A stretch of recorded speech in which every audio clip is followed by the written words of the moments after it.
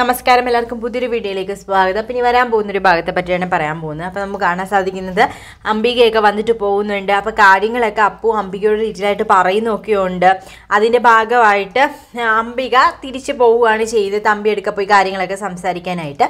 അതിനുശേഷം നമ്മുടെ ദേവിക്കും അതുപോലെ തന്നെ ബാലനും കൂടെ പുറത്ത് പോകേണ്ടതായിട്ട് വരുന്നുണ്ട് ഒരു ദിവസം. അപ്പോൾ അങ്ങനെ കടയിൽ ആരുമില്ല ശിവനും വേറെ എവിടേക്കോ പോകണം അഞ്ചുമില്ല ആരുമില്ലാതെ വരുമ്പോൾ നമ്മുടെ അപ്പു പറയുന്നുണ്ട് ഞാൻ വരാൻ ദേവെടുത്ത് ഞാൻ വന്ന് കടയിലിരിക്കുക എന്ന് പറഞ്ഞിട്ട് അപ്പു വന്ന് കടയിലിരിക്കുന്നുണ്ട്. അങ്ങനെ കടയിൽ കടയിലിരിക്കുമ്പോഴത്തേക്കും ഒരാൾ സാധനങ്ങളൊക്കെ വാങ്ങിക്കാൻ വരുമ്പോഴത്തേക്കും അപ്പുവിന് ഇതൊന്നും എടുത്ത് കൊടുത്തോ അല്ലെങ്കിൽ കണക്ക് നോക്കിയൊന്നും ശീലമില്ലാത്തതുകൊണ്ട് അപ്പു ആണെങ്കിൽ എന്തൊക്കെയോ തെറ്റുകളൊക്കെ ചെയ്യുന്നുണ്ട്. അങ്ങനെ കൊടുക്കേണ്ടതൊക്കെ മാറ്റിയൊക്കെ കൊടുക്കുന്നുണ്ട്. പെട്ടെന്നൊന്നും കൊടുക്കുന്നില്ല. അപ്പോൾ ഉടനെ തന്നെ അയാൾ അപ്പുവിനെ മുമ്പിൽ വെച്ചിട്ട് കടയിൽ നിർത്തുന്നത് അപ്പു അപ്പം മരുമോളാണ് അല്ലെങ്കിൽ ആ വീട്ടിലെ ഹരിയുടെ ഭാര്യയാണെന്നൊന്നും മനസ്സിലാക്കാതെയാണ് അങ്ങേര് പറയുന്നത്.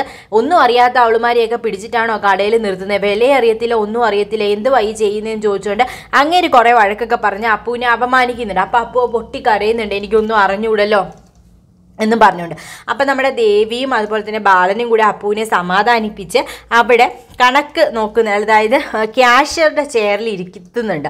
അപ്പോൾ അപ്പു ഒരു ഭയങ്കര സന്തോഷമാവുന്നുണ്ട് അങ്ങനെ അപ്പു ഭയങ്കരമായിട്ട് സന്തോഷിക്കുന്നുണ്ട് ക്യാഷ്യറുടെ ചെയറിൽ ഇരുത്തുമ്പോഴത്തേക്കും അപ്പം വളരെ സന്തോഷമായിട്ട് അപ്പോഴത്തേക്ക് എല്ലാവരും വരുന്നുണ്ട്. ഹരിക്കും ഒക്കെ ഭയങ്കരമായിട്ട് സന്തോഷമാവുന്നുണ്ട് അങ്ങനെ അപ്പുവിന്റെ വിഷമം മാറി അപ്പു ക്യാഷ്യറുടെ ചെയറിൽ ഇരിക്കുകയാണ് ചെയ്യുന്നത്. അപ്പോൾ ബാലൻ പറയുന്നുണ്ട് എടുത്തു കൊടുക്കാനൊക്കെ ഇവിടെ ഇഷ്ടം പോലെ പേരുണ്ട്. മോൾ പഠിച്ചതല്ലേ മോൾക്ക് അപ്പോൾ കണക്ക് നോക്കാനായിരിക്കുമല്ലോ കൂടുതലായിട്ട് അറിയാവുന്നത്. മോൾ എന്തിനാണ് വിഷമിക്കുന്നത് വിഷമിക്കേണ്ട ആവശ്യമില്ല. മോൾ ഇരിക്കേണ്ടത് ഈ കണക്ക് നോക്കുന്നിടത്താണ്. അതായത് ക്യാഷറുടെ ചെയറിലാണ് അല്ലാതെ സാധനം എടുത്തു കൊടുക്കുന്നിടത്തല്ല. അതുകൊണ്ട് ഒരു കാരണവശാലും വിഷമിക്കേണ്ട. ഇതൊന്നും മോൾ ചെയ്ത് ശീലിച്ചിട്ടില്ലല്ലോ. അതുകൊണ്ടല്ലേ ഇങ്ങനെ സംഭവിച്ചത്?